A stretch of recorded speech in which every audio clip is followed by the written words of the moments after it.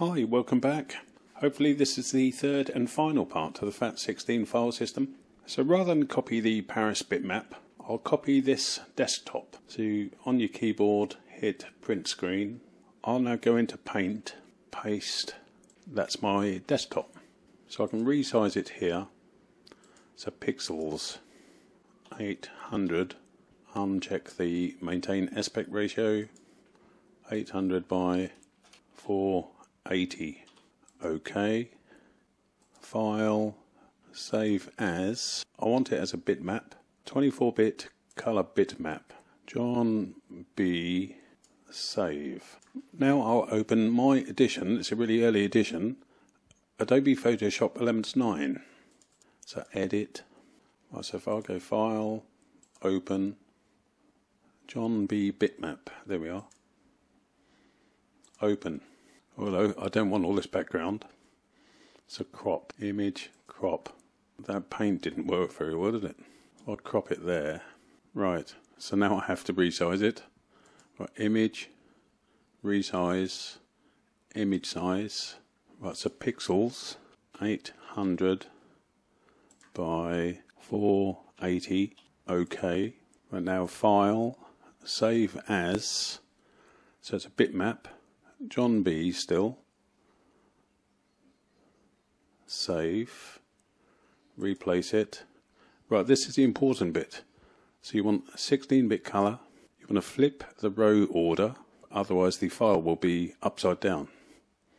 So advanced, and you want this one here. Actually, it's not giving me the option for this one here. This second one is like alpha blending, so you get uh, 8 bits for the alpha, then 565, it's not giving it to me on this one for, uh, for some reason. Anyways, you want 565. So red, 5 bits of red, 6 bits of green, 5 bits of blue. So no alpha blending. Flip the row order, 16 bits. OK. Right, come out of there. Send it to your memory card. Right, so I've now put that picture on a memory card. Let's see if it's there. Oh, I've still got the Paris one there, so let me delete the Paris one. Delete. Right, so John Bitmap. There we are. So now, if I open that program you saw the other day, the HXD program, I'll close all this, start again. So you can open the disk or open the disk image. So if I open the disk image, there's just John B bitmap.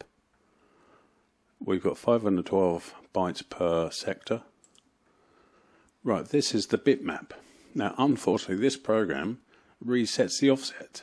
This picture is not at offset zero. I actually know it's up at something like 696 from the boot sector. But what's important is the header. So we've got something like 70 bytes of header. So 70 bytes tells the computer what format this image is. So what's important is these first two bits 42 and 4D are the BM. That confirms it's a bitmap. It confirms to the computer it's a bitmap file. The only other thing that's consistent with this image when created by Adobe Photoshop and is different for all editors is the width of the picture. So if I bring up Windows Calculator, we could work this out by hand as you saw last night. I already know this is 800, so little endian, so 0, 3 first, then 2, 0. There we go. 320 hexadecimal, 800 decimal. So this picture is 800 wide, 800 pixels wide. Right, so I've created the picture, I've put it onto the SD card, I had to format the SD card again. Let me go to the root directory 472. What you may not know, and I forgot, if you delete a file, all it does is deletes this first character. I forget what character it puts there, but it deletes that character so that the computer knows it's deleted, but the file still exists. So I put my John B on the memory card on top of the Paris bitmap and my microcontroller still showed the Paris bitmap because it was still there. And that's because I'm looking for BMP. I'm not looking for the first character of the file name. I formatted the card and did the slow format where it puts zeros everywhere and now I've recopied the John B bitmap to the memory card. So this is the root directory and there's nothing else in it now, just John B. So I've changed my code. If you looked at the C file the other day and you look at it again today, you'll notice some changes. My C file now skips to position 8 if it's looking for a text file, it looks for a T here. If it's looking for a bitmap, it looks for a B here. Then if it finds an M in the next position, it's found the bitmap. If it doesn't find them there, it jumps 16 places. The C file that's linked in the first video is now the current C file and it's been updated and is even more reliable than it was. So this is the root directory. I know the file actual sector, and that's what my C file refers to the location of the bitmap. It refers to the actual sector. It's 696 on this particular card. It's different to the other one with two text files. So this is the whole bitmap. Here's some bits taken from that header. So BM confirms it's a bitmap. That's the size of the file in green. However, this file size is in the bitmap header, but that file size is also in the root directory. Let me show you. Back to the root directory 472. There we go. I mentioned the other day. That's the file size there. So 48B8. I haven't got my glasses on. So it begins with 48B8. Back to the picture. There you go, 48B8. So that's the file size. In orange, this is the pixels width we worked out a couple of minutes ago. So it's 800 pixels wide. This particular header does not give the depth or height of the picture. So it doesn't need to because we've got the file length. So all you do is keep on drawing 800 pixels until you get to the end of the file. Simple. In this header, these four bytes, little endian, remember? The actual file location of the bitmap. So because this is 46, I'll give you a look here. Hexadecimal 46. 70 so once we actually find the location of the bitmap, that position there on the Adobe bitmap header is telling us the bitmap is at position 46 or the bitmap start, which is 70 bytes in. So that means this header is 70 bytes. So this is all we need. The size of the file and how many pixels wide the picture is and the start location of the actual picture. So if I turn to my C file, this is the last bit I'm going to go through. So I've changed the code. If it doesn't find those text files because it was looking for two, it jumps to a loop underneath. So if it doesn't find that one, jumps to this one, doesn't find that one, jumps to this and looks for the bitmap. And you can see the location equals location plus 16 so I'm jumping 16 bytes every time. It doesn't see a B and an M. And I've deleted the toupper because it seems the file extension is always uppercase so if it finds a bitmap it gives you the file name this is what I discussed the other day with you the time the hours. So, so there's the time data, and it's printing out the hours, minutes, and then you should remember this. This is a day, this is the month, and you remember, hopefully, you remember the year was the left most significant seven bits.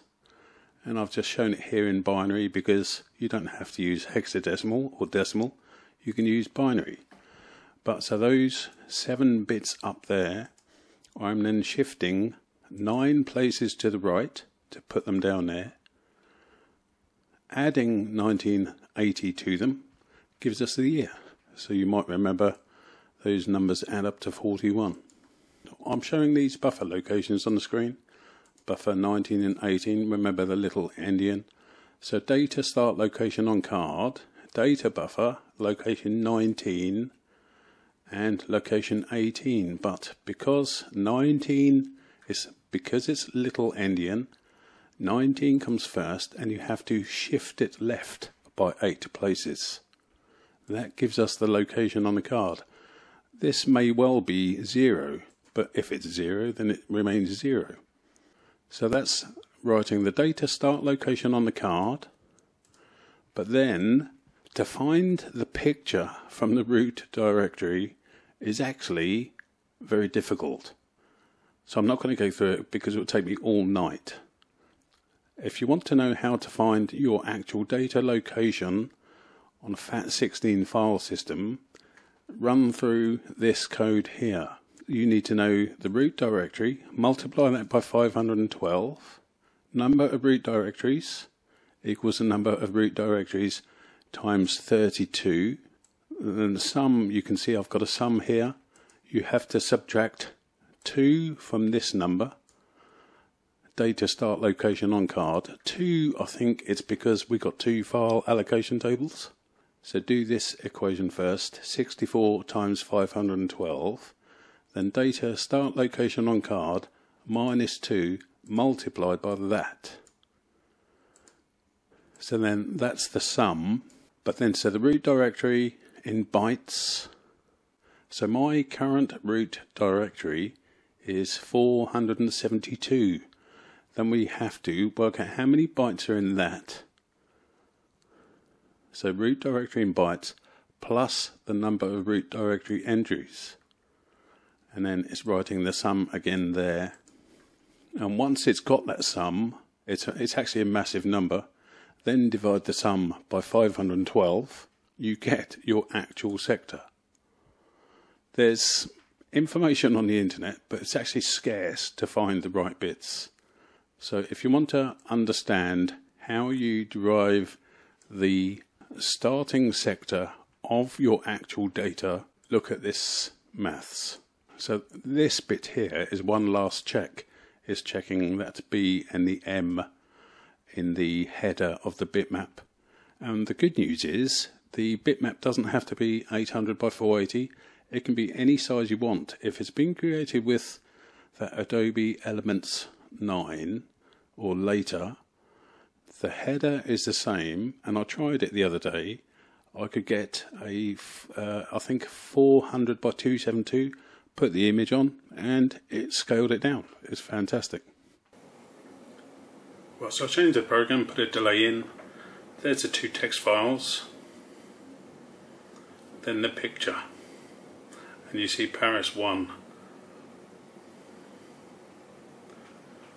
There we go. Now I'll put this other memory card in with just the, I forget, the desktop.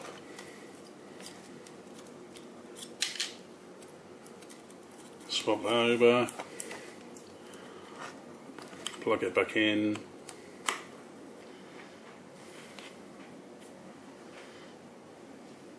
You see a different location down here.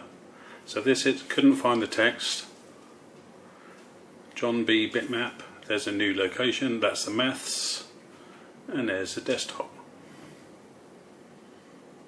And as I say, any size bitmap will work with that program.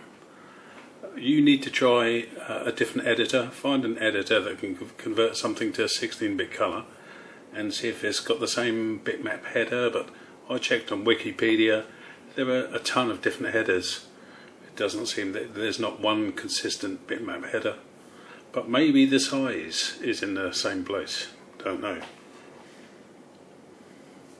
So this has only been an introduction into the FAT16 file system, but it's it's been quite detailed, and I've given you a ton of information. Hopefully, you found it helpful and useful. The C file is in the first video, not this one, so If you want to make a donation for the hours and hours of these, uh, the work gone into these videos, feel free, the link's below. If you liked it, click like. Thank you very much. Thanks for watching.